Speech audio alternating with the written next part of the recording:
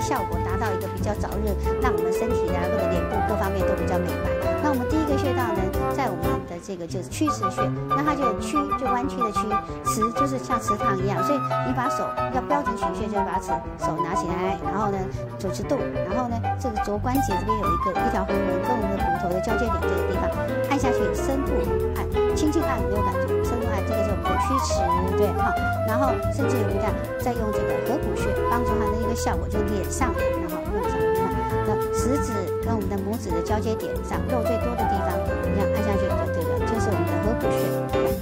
那要往这个，往我们这边内侧的骨头这样按，好，这样效果会比较有感觉，比较明显。但是如果你去孕妇的话，就不要乱按了，尤其是这较交接的大穴，按一下就容易有时候有胎动，好，这孕妇我们就不要按了。然后呢，再还有脚部的穴道，像我们的这个呃皮筋，好，所以我们有一个血海穴，那血海穴很好找，就是在膝盖内侧，然后我们呢从这个膝盖这样弯过来摸过来，对，刚好在内侧这个骨弯的地方。不要太上来，它是另外一个穴，所以这样差不多在这个地方推下来，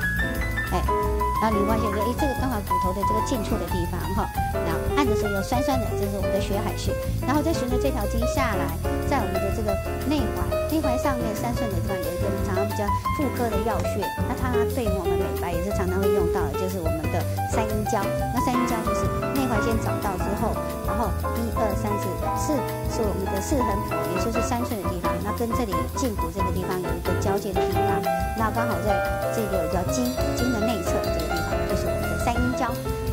顺着这个地方呢，我们会到我们的脚的大拇指跟我们的这个呃食指的这个交叉点，这个叫太冲穴，这是我们的肝经。那清热啦、清肝啦、明目啦、养神啦，或者是说安神，这些都是我们的一个穴道。我们用这个地方就是我们的太冲穴。